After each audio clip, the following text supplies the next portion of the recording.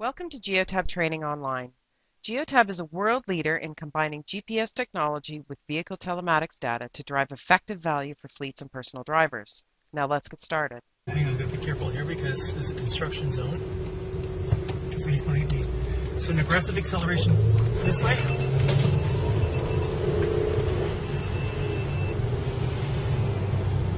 It's obviously a hard left-hand turn, which is cornering. So G-force technology can help discover whether or not a driver is aggressively cornering the vehicle.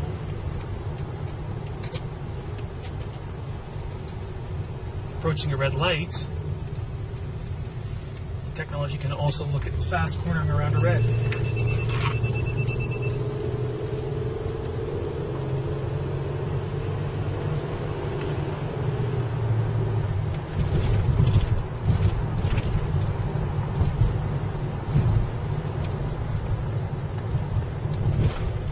But when tracks, you'll notice that the G-force does not pick up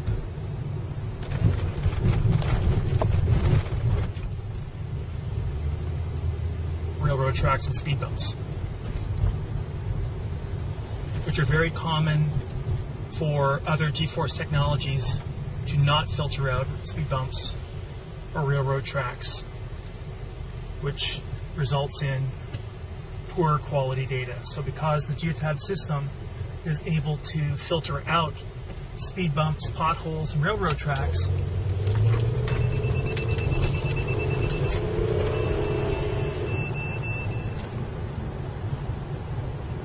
the quality of our data is that much better. You'll notice on that last acceleration, you heard a series of rapid beeps, which was the G-force cornering, and then a series of three beeps, which was our in-vehicle RPM alert, where the vehicle was exceeded a threshold of 3,500 RPM while accelerating. So we did two things on that corner. We both showed rapid cornering in addition to rapid acceleration of the RPM.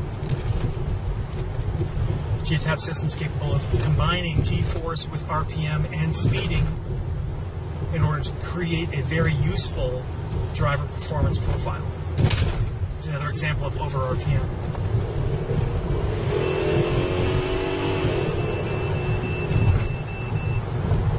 So in that case, we were traveling at speed,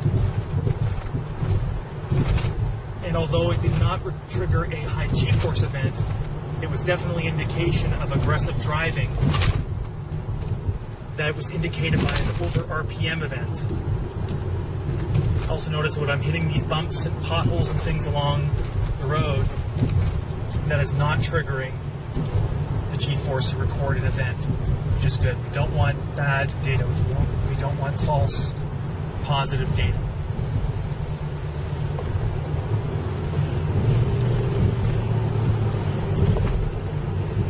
What we're trying to do is profile an aggressive driver. We're not trying to profile the types of roads that the driver has to drive on to get his job done.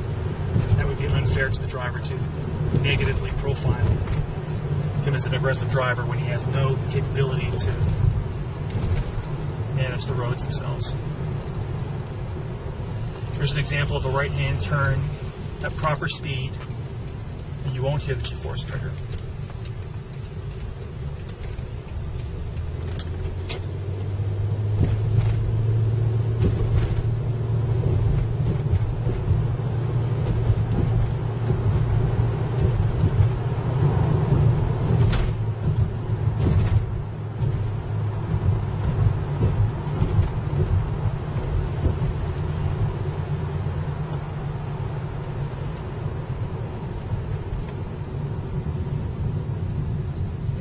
Hard brake, you'll hear the alert for the G-force, which was more of an aggressive brake than we would have normally um, had. So I braked very hard at low speed, and we still picked up the G-force event. Previously, our hard braking event was a, a change in speed of seven or eight miles an hour from one second to the next. But with G-force technology, we're able to actually record things like hard braking events, even though the vehicle is only traveling at five miles an hour to begin with, as we're coming to a gradual stop. those things cause wear and tear on the brakes, so they're not good to have those low speed hard brakes.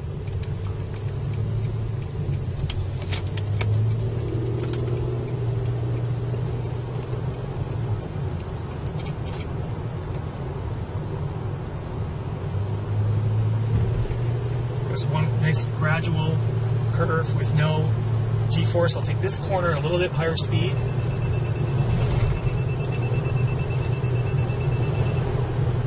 Hear was pulling excess G's all the way around the bend.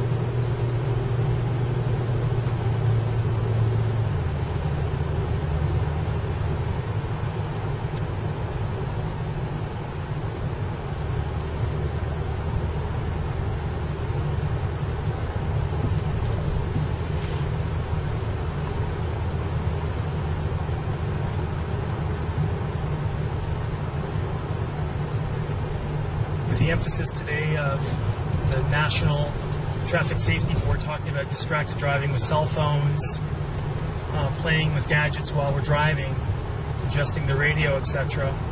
Uh, the G-force technology can indicate things. So all these rapid hard brakes and other aggressive driving maneuvers um, can be an indication not just of an aggressive driver, but also a distracted driver.